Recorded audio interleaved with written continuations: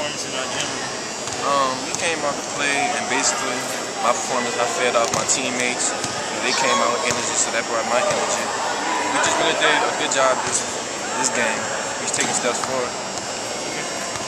You're a true freshman leading the team in scoring. Uh, how do you feel about uh, what you do so far since early start of the season? Uh, first off, I like to give props to my teammates because without them, I wouldn't be scoring I am.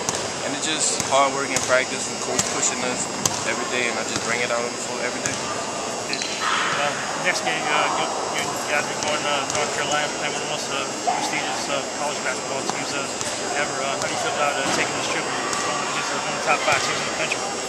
It's, a great experience for um, all of us. I, we never been to a place like that, and we just got to come out on the floor with the same intensity we came out the last couple of games.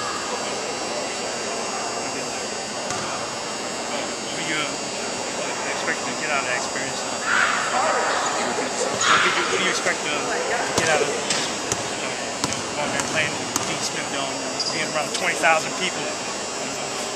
Um, basically the atmosphere. Like I'm, I promise, like we never played in an atmosphere like that. But we just got to come out with the same intensity, and we be all right.